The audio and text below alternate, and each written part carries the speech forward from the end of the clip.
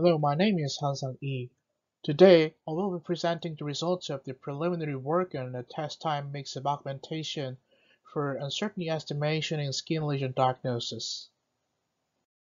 In machine learning, the uncertainty as a measure indicates how likely the prediction is incorrect. There are various methods for estimating the uncertainty, and the uncertainty has been used for various applications such as error correction and active learning. One of the well-known methods for uncertainty estimation is the test time augmentation.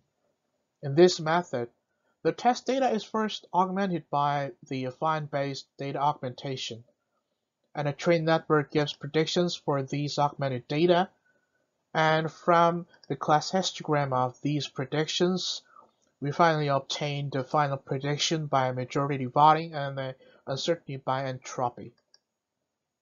So in test time augmentation, we obtain the uncertainty as the instability of prediction caused by affine-based perturbation. Mix-up augmentation is one of the recent state-of-the-art data augmentation and regularization method for deep learning. The mix-up generates the training data by a linear combination of two data and assigns a soft label for this mixed data. The mix-up has been known to improve the generalization and robustness to the adversarial perturbation. So in our research, we apply this mix-up augmentation to the test time augmentation based uncertainty estimation method to explore its behavior and characteristics.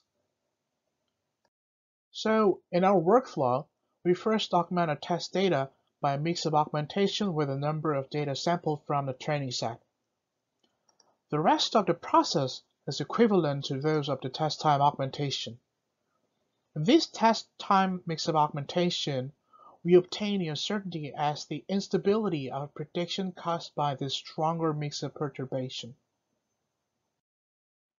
In addition to the test time mix-up augmentation for entire class data, we can perform mix-up with one specific class for our test time mix-up augmentation.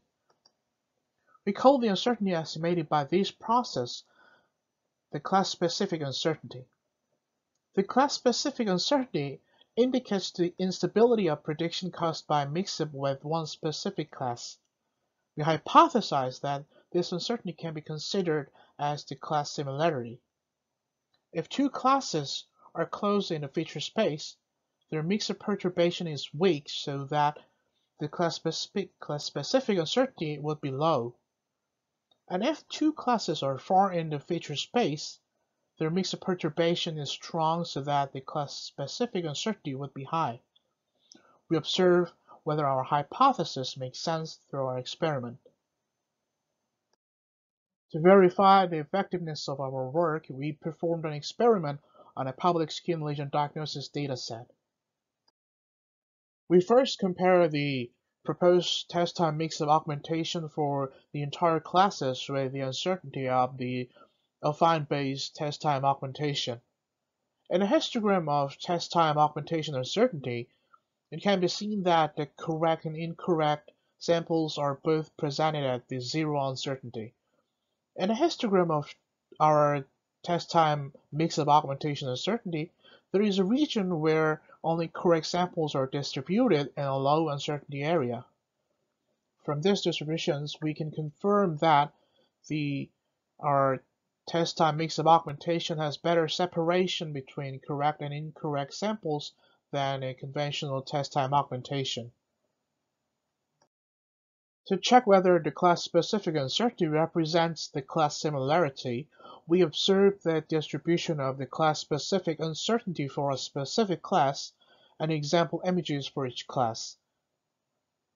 You can see that uh, DF and AKIEC with a low class-specific uncertainty show similar image characteristics right, as seen in the right images, whereas the melanoma and AKIEC with the highest class-specific uncertainty show kind of different image characteristics as shown in the example images in the right columns.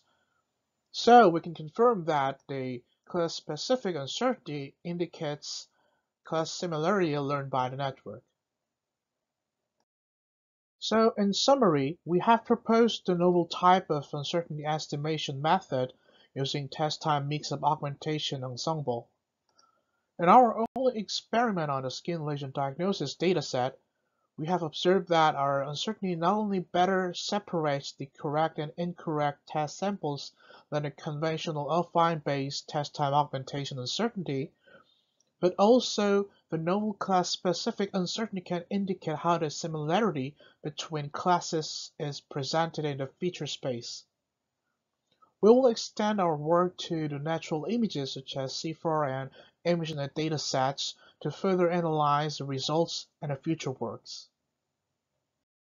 Thank you for listening and we look forward to meet you at a posture session.